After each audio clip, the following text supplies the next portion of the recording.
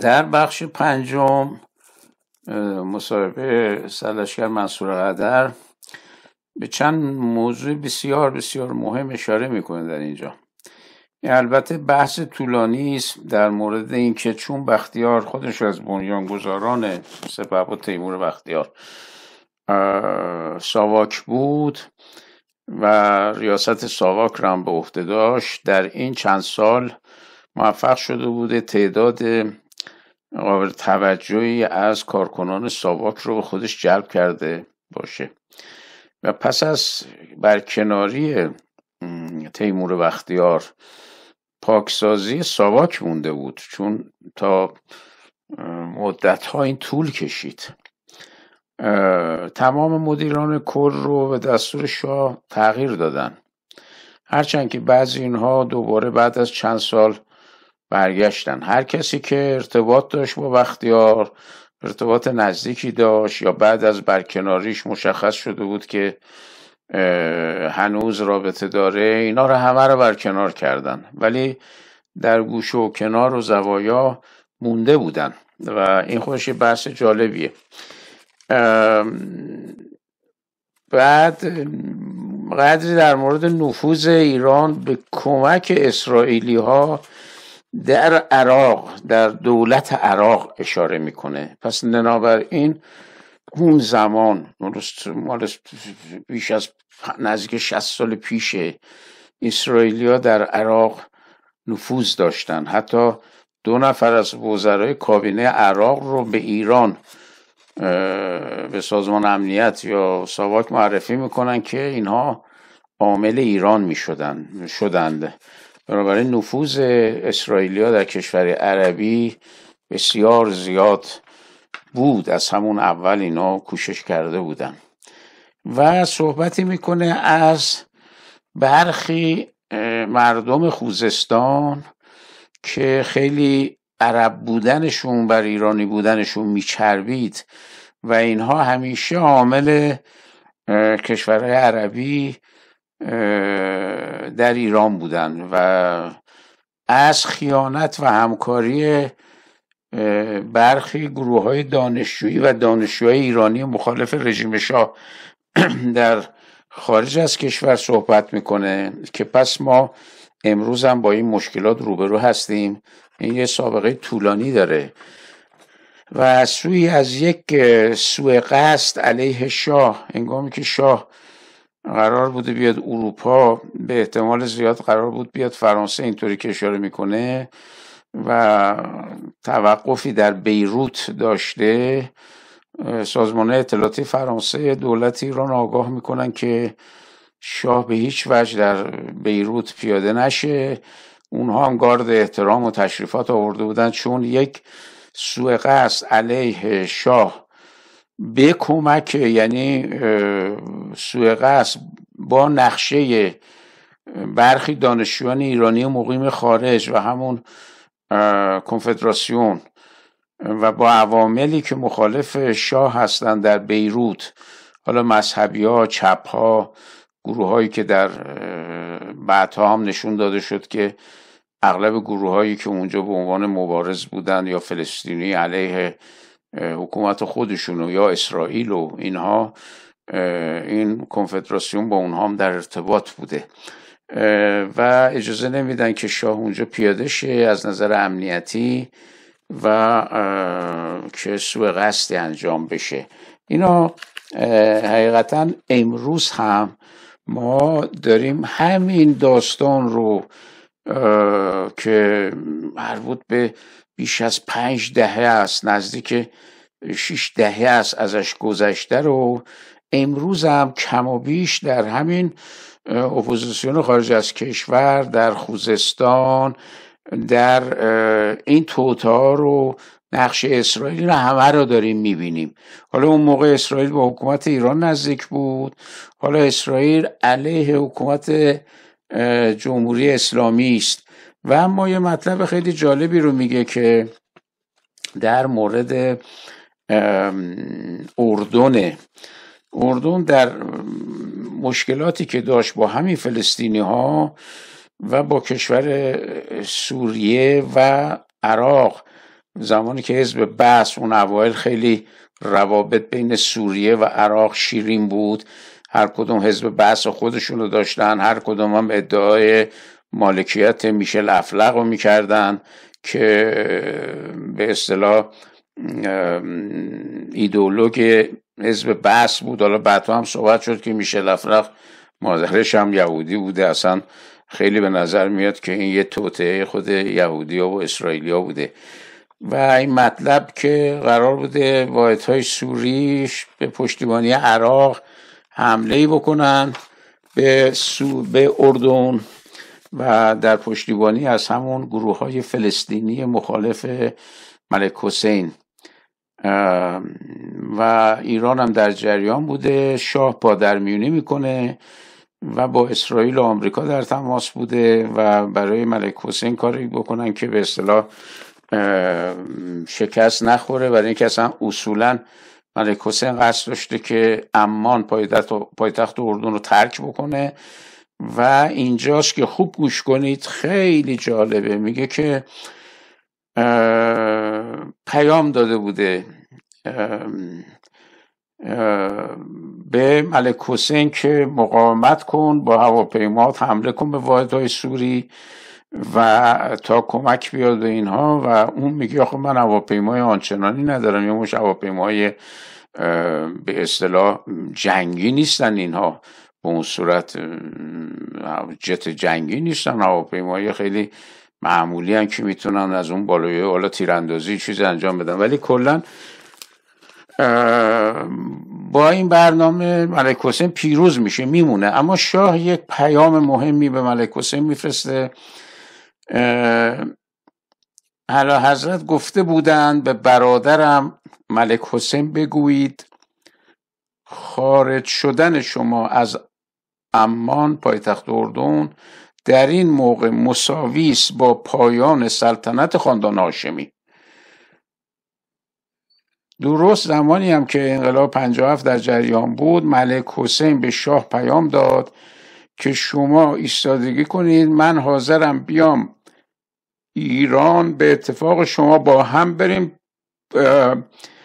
وسط مردم و با اونا گفتگو کنیم و از این حرفا چون خودش این کار کرده بود ملک حسین. موقعی که سپتامبر سیا و اینا به وجود اومده بود. رفته بود وسط مردم و به حال مردم رو آروم کرده بود.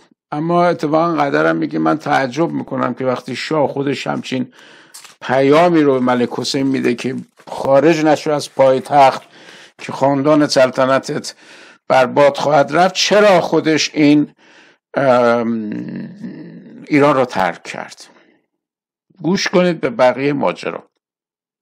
نصیری به جای چیز آمد و به جای پاکشوان آمد. رئیس سازمان شد.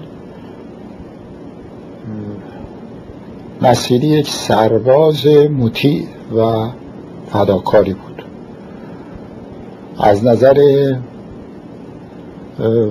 فرماندهی نقاط ضعفی داشت و کنترل کار را از دستش زیر ها می گرفتن در حقیقت اون که در سواک اتفاق افتاد با ریاست نصیری به دست دیگران انجام شد. دیگران بودن که این کار رو می‌کردن اون نتیجه کار رو می‌خواست. و امر عوضرت رو بیچون چرا اجرا می‌کرد. یعنی اینکه مطلقا مثل یک اسب ای که دو طرف رو بسته باشن هدف رو می‌دید و اون که عرضت گفتن این کارو بکنه باید بکنه متاسفانه این طرز ریاست و فرماندهی موجب میشه یه سری اشکالات یه سری یه سری اشتباهات میشه که این اشتباهات بالمعال به ضرره. اگر یه رئیسی باشه مقاومت بکنه و بگه قربان اینطور نباید بکنیم این بسیار مناسبتره و مفیدتر در موقع از نظر عمل. به طور مثال عرض می‌کنم که موقعی که بنده مدیر کل بودم داستان تجزیه خوزستان به پیش آمده بود و عبدالسلام عارف تحریکاتی می‌کرد که رئیس جمهور عراق بود. یه عده از این اعراب ایرانی های عرب نژاد خوزستان رو استخدام کرده بودند و و اینها می‌رفتن به بغداد و با عبدالسلام عارف ملاقات می‌کردن پولهایی می‌گرفتن میامدند و تشکیلاتی دادن که ما به حسب تصادف یکی از معمولین رو از بصره اطلاع داد معلمینی که در مدرسه عراقی ها در خرمشهر هستن اینها با سازمان امنیت عراق در تماس. ولی خب کار داخل خوزستان به ما مربوط نبود یعنی حق نداشتیم دخالت بکنیم.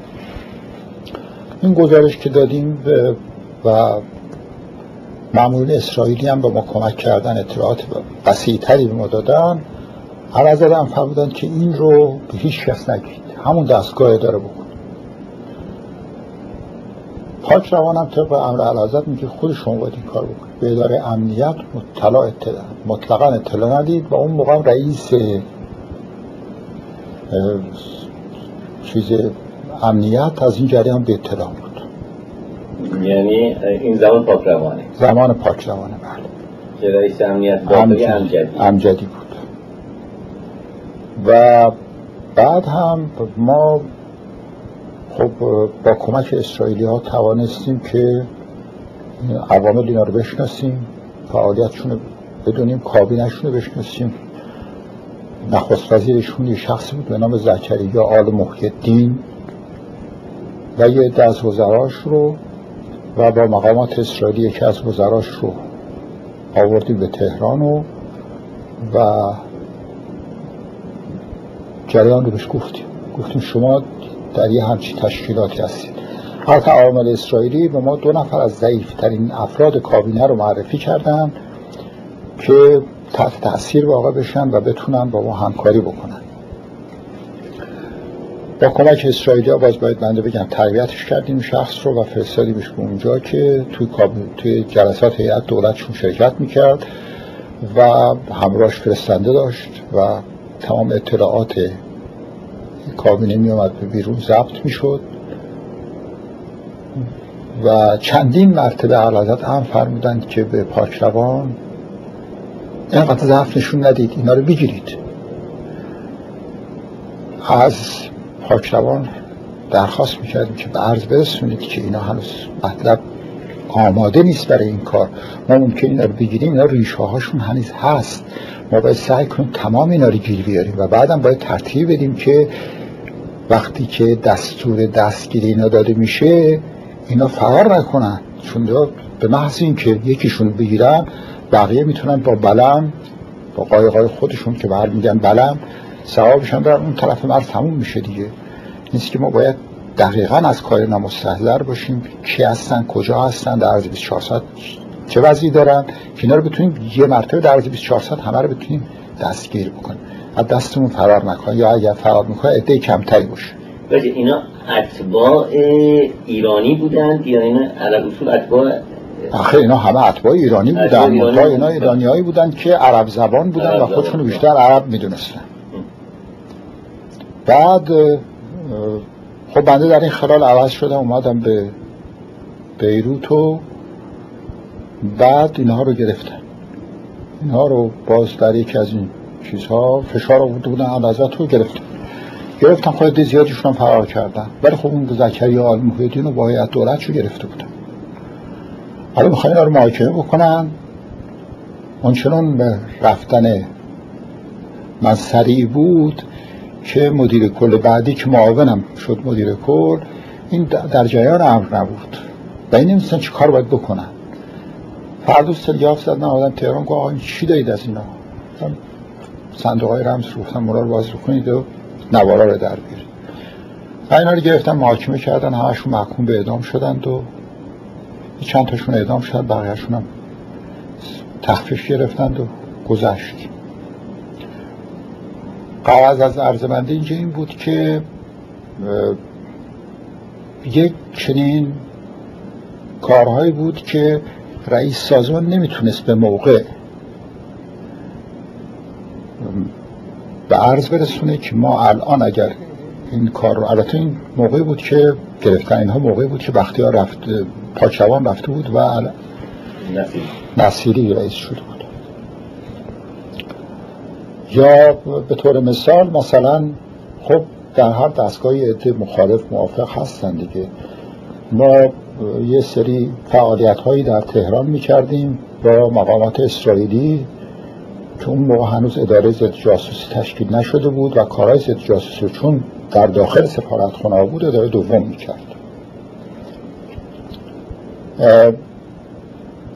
ولی آن که در اون موقع سرگرد بود و رئیس اداره مرکزی ما بود اداره آسیای مرکزی بود آمد من اطلاع داد که ما چند تا از معمولین افغانستانی سفارت افغانستان رو در اختیار داریم.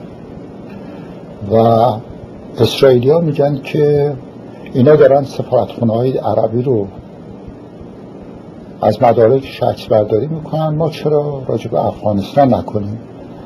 چون افغانستان موضوع بسیار حادی بود اون موقع سر جریان رودخانه هیرمند. اختلافات بود و هیئتی می آمد می‌رفت می‌خواستن ببینن چقدر به ایران آب بدن چقدر ندن.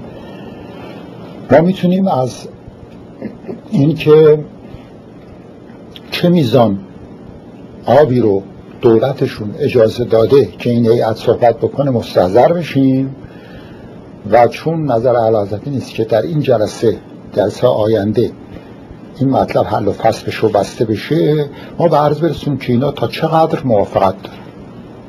و ما این رو از رو اسنادشون گیر بیاریم. گفتم با اسرائیلیا تماس بگیرید و با اونها گرفتیم و بالاخره گفتیم آسان کار کردن و و ما این کار رو به صورت انجام دادیم. یعنی اون منشی سفیر یه دعوت کرد. قبلا که دوستانش رفته بود اونجا.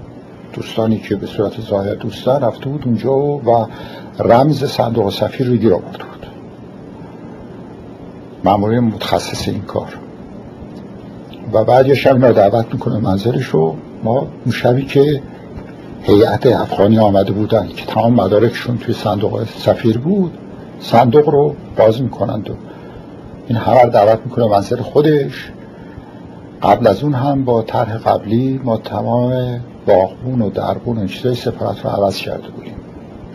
یعنی به این ترتیب که اینا رو به استناد شرکت در معاملات مواد مخدر دستگیر کردن و سفارت افغانستان مجبور شده دیگه استخدام بکنه. ما یه حاضر بانا معرفی کردیم اینا رفتن اینجا سفارت تو از تو این دو اینا دو تاش انتخاب کرد راننده کرد دربون و باقون در اون شب سفارت در اختیار ما بود و در آوردیم مدارک رو.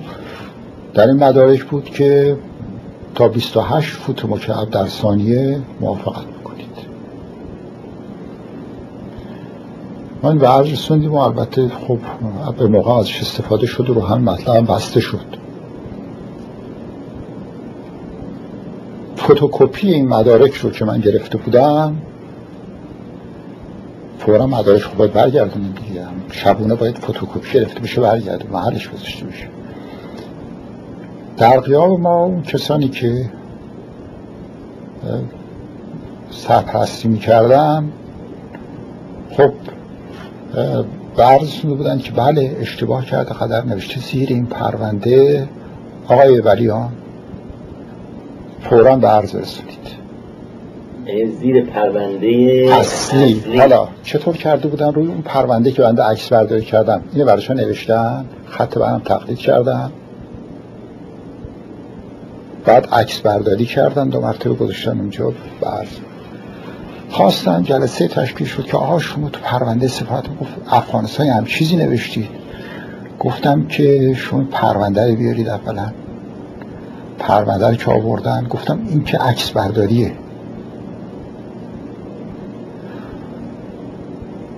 اون اصلی که من نوشتم اون کجاست؟ گفتم اون در سفارت افغانستانه. گفتم بله اون در سفارت افغانستانه. ولی کم اونی که در سفارت افغانستانه و زیش ننوشتم هم چیزی رو. این خط هم خط من نیست این امضا امضای من نیست. شما اگر اعتقاد می مطلب خط شراس وزارت دادگستری بیارید ببینید که این خط خطی که به روشن شد مطلب. مطلب که این اتفاقات در داخل سواک می افتاد و مغز متفکری که بتونه اینها رو تشخیص بده که این مسائل مسائل ساختگیه یا مسائل حقیقیه وجود نداشت. از به عنوان مثال عرض کردم خدمتتون. بعد بنده آمدم به در بیروت مشغول شدیم به این در چه سالی شد به عنوان سفیر اومدید به بیروت؟ نه.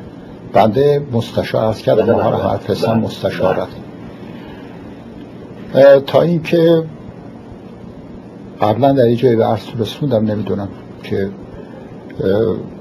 در جریان توتهی که برای علیه جان حضرت بود اونجا مقامات فرانسوی ما اطلاع دادن که یه همچین داستانی هست و و بنده به عرض رسوندم و یعنی به نصیری تلگراف کردم نصیری هم تلگراف چون از دستگاه هم زیاد مدرن نبود این تلگراف به دلایل دیر رسید به دست نصیری موقع رسید که ازت در فرودگاه تشریف داشتن.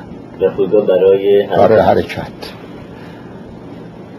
عیادی همراه علازت بود و یکی از کارمنده سفارت امریکا بود. و علازت اولین استاپشون در فرانسه بود و بعد میادم به امریکا. تصمیم میگن در بیروت هم پیاده بشن یعنی هواپیمای شخصی نبود. هواپیمای پن امریکن بود در نتیجه استاپ داشت در اونجا ما درخواست کردیم که ازت پیاده نشن از هواپیما. از وقتش میرن اونجا از وقتی هواپیما میشینی نگاه می‌کنه گار تشریفاتی گذاشتن. من تمام اقدامات امنیتی کرده بودم که اگر بر دلیل عرضت پیاده شدم خطری متوجه نباشه. یادمه که دیبا سفیر بود در دمشق و چون توی لیست نبود معمول نمیذاشتم به تو اتاق تشریفات. و عرضت فرمودن که اقلا بذار اون بیاد تو. متوجه بودن که چون وقت تلگراف رو نشون داده بودن در فرودگاه نصیری و عرضه عرضه فرمودن چرا؟ کیان اینا؟ گفته بود چاکر نمی‌دونم این تلگراف قدر زده فلان. وقتی هم که اونجا رسیدن وقتی میرن گاه تشریفاتی پیاده میشن. پیاده میشن و خسرودات هم به علازت بود و عیادی بود و اینا. خب کسی نمیذاشتیم بیاد تو. نه مخبری هیچ کس. فقط یه دوتا ما رادیو تلویزیون تهران بودن اینا فیلم برداری می‌کردن. و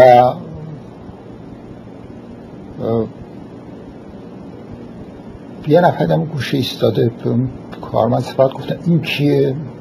این مراقبش باشید. بعدش گفت من آقا خسرودات هستم. خیلی متاسفم من شما نمیشنستم شما خیلی از ما جوانترید خیلی دوره های بعد, بعد آمدید من نمیشناختم. و علازت فرمودن که بله بزنین دیوا بیاد تو. اون آمد و از اینجا تشریف بردن رفتن به پاریس و, و به عللی اونجا بهشون چیز کرده بودند و سفرم به دلایلی سفر علازت به امریکا متوقف شد. علازت برگشتن از پاریس اصولا. برگشتند و رفتن به تهران و حوادث در یک خورداد در کار کاخ اتفاق میفته و بعد علازت میفرمایند به این خبر رو اول قدر به ما داد و از اون تاریخ که مرجعش هم فرانسوی ها بودن. مرجعش فرانسوی بله. مثلا اطلاع نداشتیم. اونها به ما گفتن که محصلین ایرانی در اروپا توطئه علیه عرضت کردن و در این مسیر ممکنه سوء قصد اتفاق بیفته. و توصیه کردن که عرضت در بیرون پیاده ما این این جریان رو نوشته بودیم و من حتی گفتم که منبع خبر چی است و چی است چطور با دستگاه های سرویس های چیز ما در بیروت و در اغلب کشورها آلمان و ایتالیا و فرانسه و انگلیس رو عرض کنم که امریکا و اینا تبادل اطلاعاتی داشتیم. ترکیه و پاکستان تبادل اطلاعات تبادل فقط که فتوحی به اون دلیل از کار برکنار احضار میشه یعنی مقامات لبنانی درخواست می‌کنن که بره. من در اونجا کاردار میشم و دو سالی هم که کاردار بودم خب به تدریج روابط رو درست کرد. و تهران به خصوص عرضت روی درجات جراید خیلی حساسیت داشته. و بیروت هم یکی از نقاطی بود که همیشه این جراید از هر کجا پول می‌گرفتن و بدترین حملات رو می‌کردن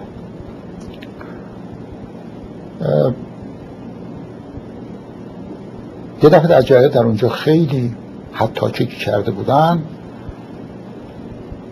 ازت دست رو که بگید که اگر نمی‌تونن جلوشو بگیرن ما سفارت رو ببندیم. جواب دادم که این طرز کار نیست البته. اینا به همه حمله می‌کنن. تنها رهبر ایران نیست. اینا هر پول از هر کجا بگیرن به اون ترتیب عمل می‌کنن. و ما هم صحیح نیست پول بدیم. چون به هر کس پول بدیم این همینطور اون یکی هم مستحضر میشه اونم مستحضر میشه و تمام جرائد مستحضر ما تمام جرائدی که می‌تونیم در لبنان تغذیه بکنیم. بیش از صد تا روزنامه و مجله و ماهنامه در لبنان هست. اجازه بفرمایید به نحو صحیحی ما عمل بکنیم.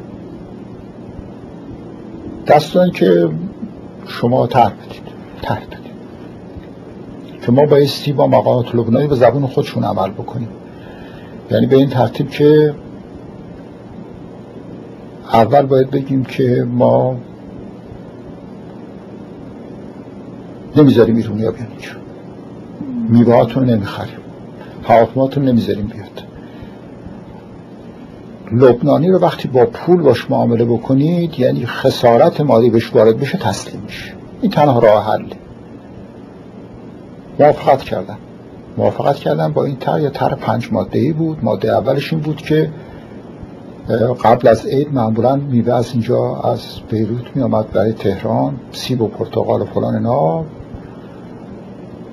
ما به نهاد اختار کردیم که اگر جلوی روزنامهاتون نگیرید ما میوهاتون نمی‌ذاریم به ایران بیاد اعتنا نکردم. از 15 اسفند تمام کامیون های حامل میوه در قصر شونی جلوش گرفت.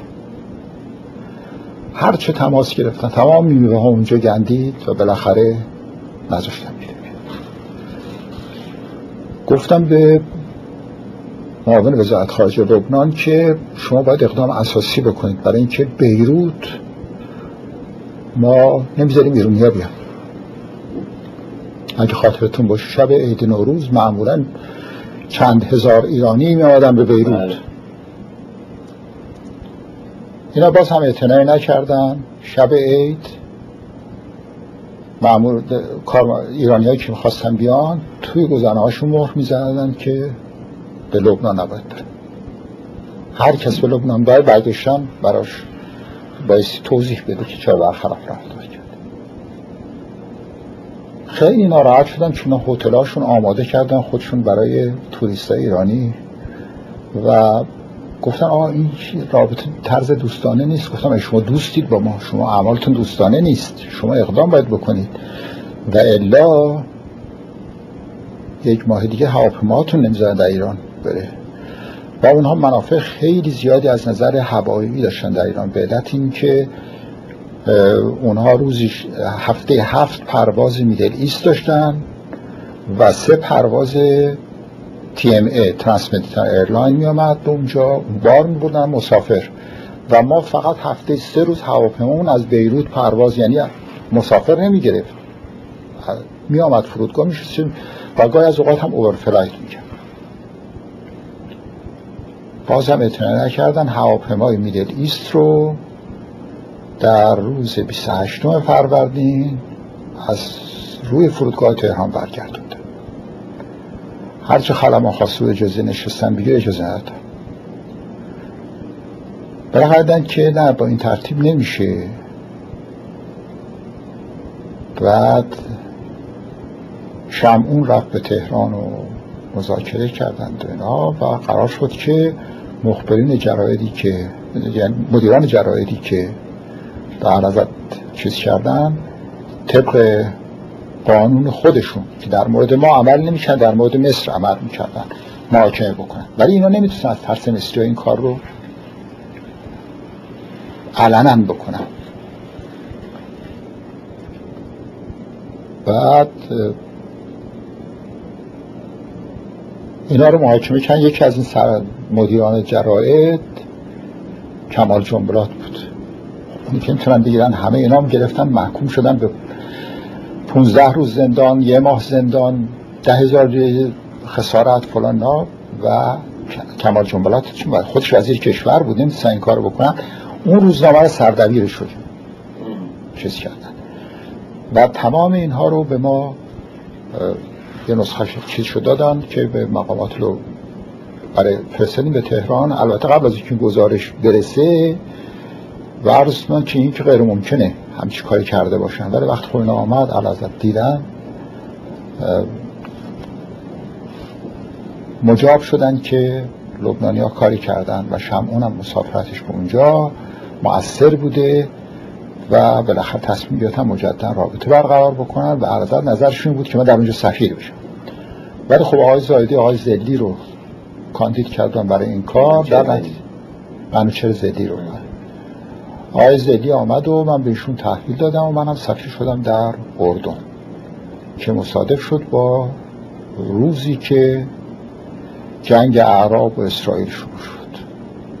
یعنی که بنده روز پنجم جوان 1967 بعد با هواپیما رفتم هواپیمای اردنی سوار شدم و از حالا از بیروت باید برم به اردن.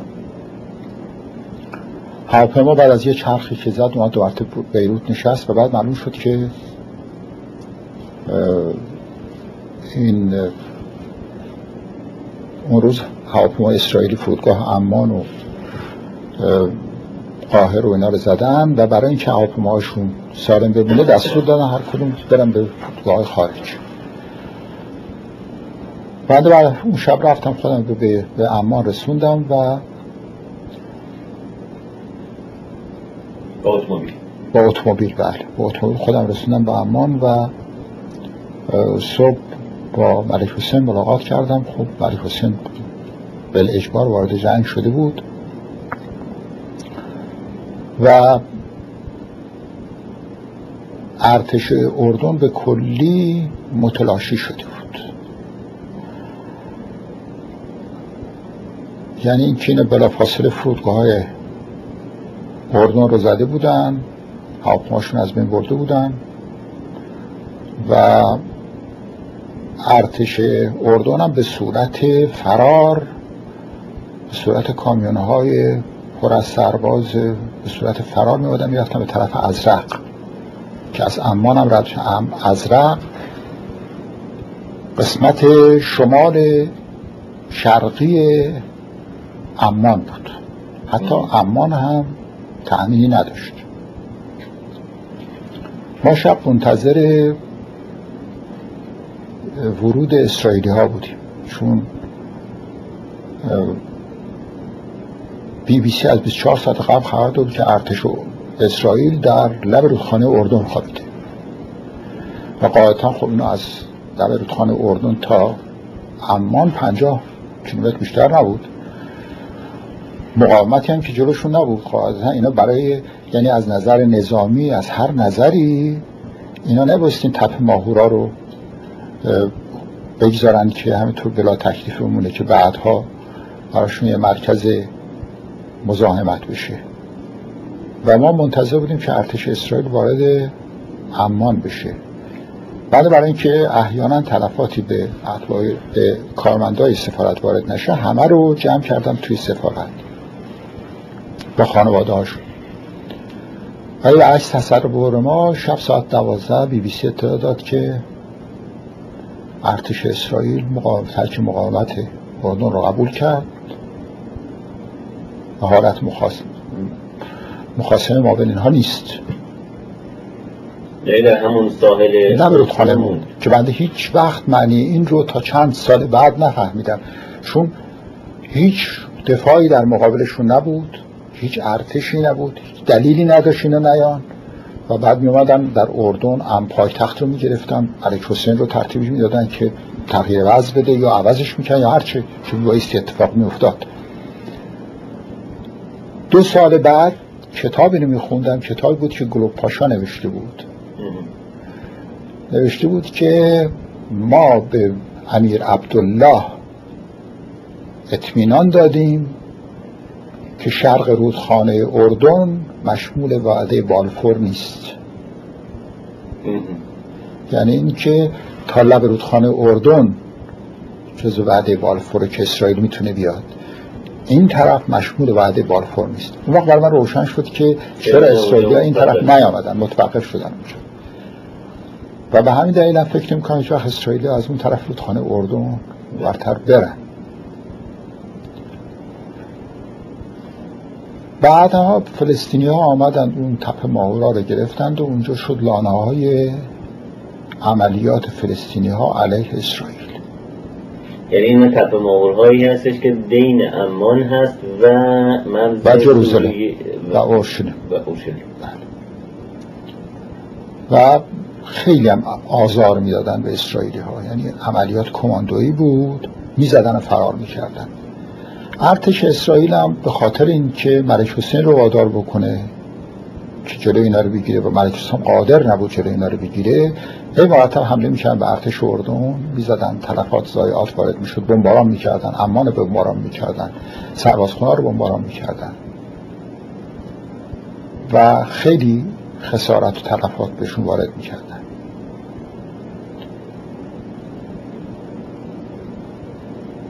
ظاهرا یه ارتباطاتی هم بین ملک حسین و خانم گلدمایر در عقبه بندر عقبه که خلیج عقبه دو, دو بندر دارید اون طرف بندر ایلاته که همدیگر می‌بینن. این طرف هم بندر عقبه است. اونجا توی ویلای ملک حسین کنار دریا یک ملاقات های اونجا دست داده بود. فلسطینی های مطلب رو مستحضر شدن. امان رو اشغال کردن. البته نه به صورت ظاهر و در معنا. یعنی آمدن تمام امارات بزرگ امان رو گرفتن تشکیلاتشون اونجا پیاده کردن تمام زیر این امان رو نقب زده بودن. اسلحه و مهمات اونجا ذخیره کردن و به تدریج قواشون رو رسوندن تا پنجاه هزار نفر. ملک حسین هر اقدامی که می‌خواست بکنه جلوش رو اتحادیه عرب می‌گرفت. به خصوص عبدالناصر اینا می‌گرفتن جلوش. و نمیذاشتن. اونم هنوز اون موقع جز متحدین عبدالناصر بود. و مانع عمل حاد ملک حسین شد و درگیری های ما بین فلسطینی و ارتش و اردن و پلیس و اینا بود. ولی این درگیری هیچ وقت به صورت آشکار و مداوم نشد نبود. تا اینکه ملک حسین دید نه وضع به جایی رسیده که اینا مرتب پاسبانا رو میرن خر سلام می‌کنن سربازا رو میرن خر سلام می‌کنن. امنیت شهر رو در دست گرفتن. کنترل امان دستشونه. ارتش فرستاد که بیان توی امان رو بیان محضی که آمدن زد خورد در گرفت. با وساطت با زد خورد متوقف کردن. اینا شرط گذاشتن که ارتش امان ارتش اردن از 15 کیلومتریه. امان عقل داره جلوتر بیاد. اگر بیاد ما باز پلیس رو خل سلام می‌کنیم. به دلایلی که روشن نبود حالا یه نظر شخصی خود سفیر بود. سفیر امریکا بود یا نظر دولت امریکا بود.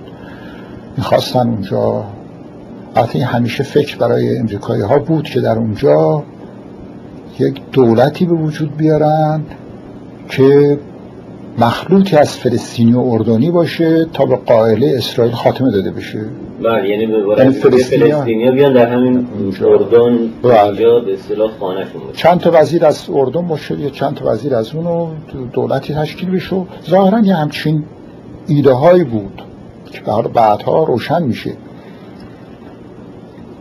و به ملک حسین توصیه می‌کردن که نه از عمل حاد جلوگیری بکنید و نیرو نیاد بده. ملک حسین مرتبا به امریکای فشار می بود که این ترس صحیح نیست فلان و این پایان این کار بایستی من بذارم برم. و امریکا گفتن شما خواهد برید ظاهرا البته اینا چیزایی جست گریخته بود که می‌خواید برید مانعی نداره. می‌تونید مثلا ملک امیر حسن رو جای خودتون ولی عهد رو منصوب بکنید. و یه روز ملک حسین من خواست و گفتش که به برادرم اعلی حضرت بگید که همچین حوادثی در اینجاست و من تصمیم دارم که برم و بگذارم که برادرم اینجا رو تصفیه بکنه. امیر حسن یک جوان واقعا شجاع ملک حسین خودش بسیار مرد شجاعی بود ولی امیر حسن خیلی مرد خوشنامیه. هیچ نقطه ضعفی نداره برخلاف اون ولی عهد سابق چون برادر بزرگ این اول ولی عهد بود. ولی اون آدم ناباب و معتادی بود و یه دفعه صبح در حال مستی با مسلسل میاد سر راه. صبح جمعه بوده نماز میخوندن در مسجد امان و جا نبوده تو خیابون سر راهش گرفته بودن. بوق می‌زنه بلند اینا سر نماز بالا نمیشن. و مسلسل این چند نفر می‌کشه. فورا جلسه فوق تشکیل میشه از ولیعهد خلش می‌کنن و بیرونش می‌کنن از کشور رو. امیر حسن میشه ولیعهد امیر حسن یه همچه خواصی داشت. هیچ نوع اعتیادی نداشت هیچ نوع, چیز ضعف و فسادی نداشت. و گفت من می‌خوام برم. جوابی که آمد بسیار جالب بود که من از اعلی به برادرم اعلی ملک حسین بگویید خارج شدن از شما از امان در این موقع مساوی است با پایان سلطنت خاندان هاشمی. من همیشه این فکر می‌کنم که هر حضرتی که یک چنین دستور توصیه‌ای برای ملک حسین میفرستن چطور در اون شرایط حساس خودشون گذاشتن رفتن و قبول کردن حرف بختیار و امثالهم و دیگرانی که بهشون فشار می آوردن و خودشون چرا این همچین تصمیم گرفتن؟ هر این. بعد ملک حسین بعد از این جواب رو حضرت دادن یه چند روز بعد سفیر میخوانو میگن که راجرز که میاد راجرز وزیر خارجه بود اون موقع. وزیر خارجه امریکا که میاد به جروسلم بگید بیاد به اما باشون ملاقات بکن. سفیر این پیام رو میفرسته ولی جز این پیام هم اضافه می‌کنه که شرایط اردن طور نیست که راجرز بیاد به اما و به ملک حسین هم اونجا یه نفر دیگری داشتن به نام انکل جورج. نماینده سیایه در اونجا.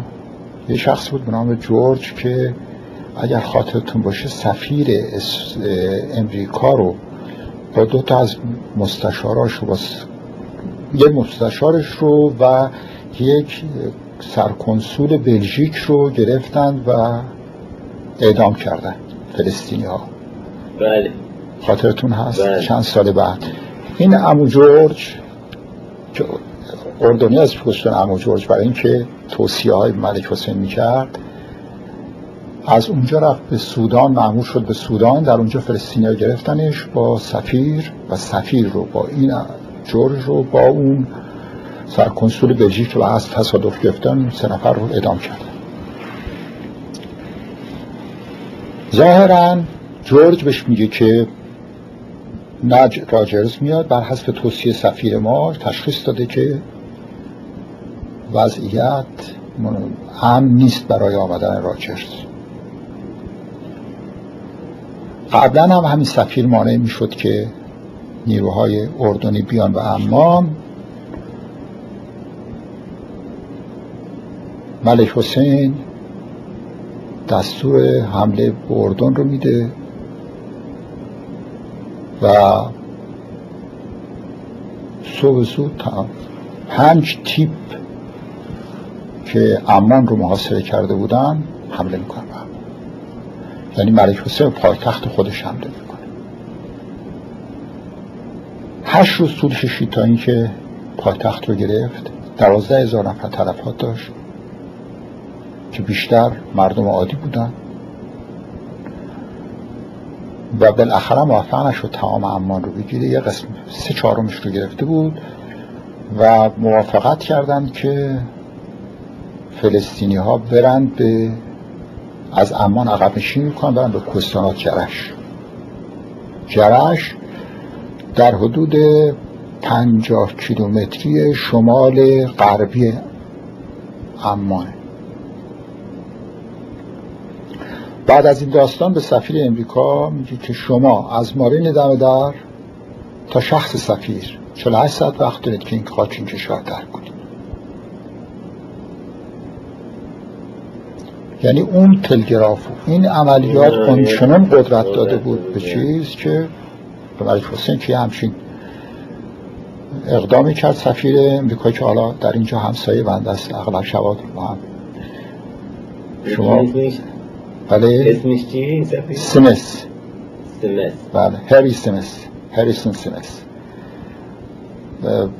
شب نوروز پارسال که ما کوکته داشتیم شما تشریف نبردید نه نه تشریف نداشتید اینجا چطور شد؟ آمده اونجا با اغلب ایرونی ها رفقای ما اونجا چیز کرد. گفت بله ما با هم در اونجا بودیم ما رو اونجا بیرون کردن. و از کنم که با وساطت سفیر انگلیس قرار شد که ملک حسین استثنان اجازه بده خانواده هاشون تا 15 روز بمونن که اساسشون جمع. هواپیما اومد چارتر که متشکر چارتر کرد کارمندای سفارت امریکا رو همه رو برد. به طوری که یک نفر کارمند امریکایی در اونجا نبود. و این آقای دین براونی که حالا رئیس انستیتوی Middle East Research هست این رو از Jerusalem یک هفته بعد با هلیکوپتر آوردن توی کاخ ملک نشوندنش. به عنوان سفیر که من اصلا نمی‌شناسم این آقا چیه. و بعد که ملک حسین یه روز ما رو خواست به کاخ و بعد هم آقا اونجا هستن. گفت ایشون چون گفتن سفیر جدید امریکا بعد رفتم معرفی رفتم جلو سلام علیک کردیم. گفتم که welcome to the club. این حالا همینزون جمله رو یادشه اغلب میگه اینجا. بعد درس داستان بعد در مرحله دوم عملیات که فرماندهیش باز با امیر حسن بود. و بنده اینجا یه تیکر فراموش کردم که لازمه برستون برسونم و اون نیست که در حین زد و خورد جلسه فوقلاده اتحادیه عرب تشکیل شد در یعنی سران عرب. نه اتحادیه عرب سران عرب در مصر تشکیل شد و عبدالناصر از ملک حسین خواست به این در حین زد و خورده. در حین است که هنوز ارتش اردن موفقیت پیدا نکرده در امان و سه لشکر زرهی سوریه از مرز گذشته آمده تا نزدیکی ازرق. به پشتیبانی از پشتیبانی از فلسطینیا عراقی هم که در اونجا از قبل سه لشکر داشتن که در مفرق مستقر بود. برای این لشکرها برای دفاع در مقابل اسرائیل بود. اونها خواستن از صحنه عقب نیفتن. اونها هم را افتاد آمدن به طرف امان و جرش. ملک حسین ما رو خواست و گفتش که وضعیت به این ترتیبه و ما ممکنه که پایتخت در دست بدیم. ما در نظر داریم که بریم به به عقبه و پایتخت رو بریم به اونجا. این داستانی که عرض می‌کنم قبل از اخراج سفیر امریکاست. برای مطالب رو مخلوط کردن و شما به دولتتون بگید که هر کمکی می‌تونم به ما بکنم. بنده بودم. سفیر انگلیس بود و سفیر پاکستان فقط. سفیر ترک و اینا هم نتونسته بودن بیان سفیر امریکا هم نیامده بود.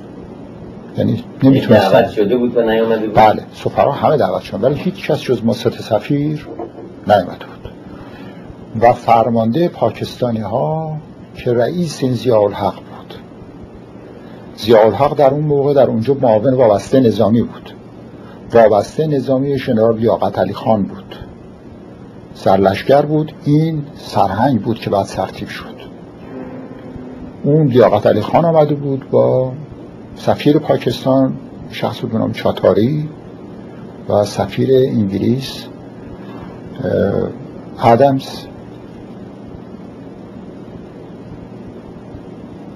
بعد سفارت امریکا که ارتباط نداشت اصلا یعنی خود سفیر امریکا از مقر مقرش گرفته بودن. آمده و رفت توی جای دیگه و ارتباطی بودن. تلگراف از تهران آمد که به ملک حسین بگید بلا فاصله تلگراف یعنی به فاصله 7 ساعت جواب اومد که به ملک حسین بگید که با نیروی هواییتون دفاع کنید. ترتیبات لازمه داده شده ملک حسین از تلگراف خیلی تعجب کرد. گفت آقا ما همش دوازده تا هاکر هنتر بیشتر نداریم. من چطور می‌تونم در مقابل 300 تا میگه سوری و اگر عراقی ها وارد بشن اونها عملی بکنم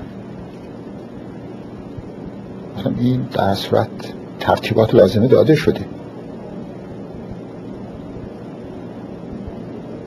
فرمانده نیرو هواییشون یه سرتیب بود به نام سرتیب کردی که بعدا سفیر شد در تهران